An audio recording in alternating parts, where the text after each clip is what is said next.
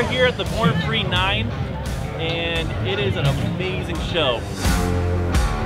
Born Free is just one of those grassroots shows that we just love.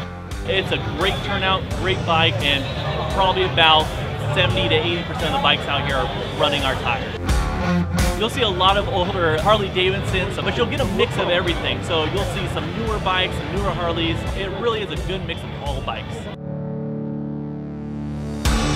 In the invited builder category, there's 25 amazing bikes and they all are hugely different from each other. I feel like there's a really good element of diversity in, in the invited builders. If there's any trend, it's just high quality craftsmanship. This show, um, it takes you to a whole nother level that you're not even comfortable with.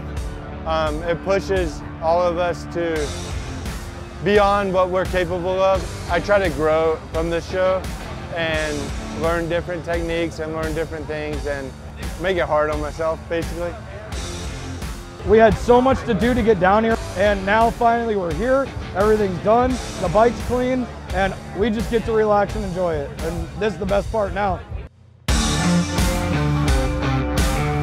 But our tires are not just for show, we race them too. During the race, you'll see a lot of the, our ANS Firestones on there. And those are great tires for hooking up on the dirt track, but also are good riding tires.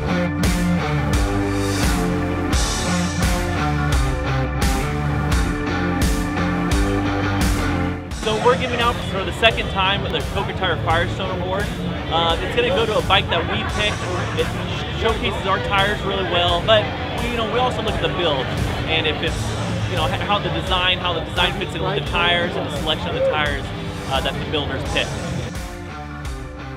The tires that they offer are the ones that we're all looking for in the vintage scene, and they have it all.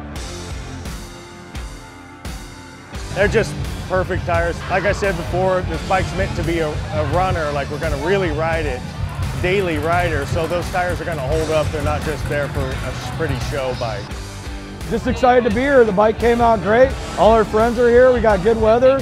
And uh, thank you to Coker Tire for bringing us here.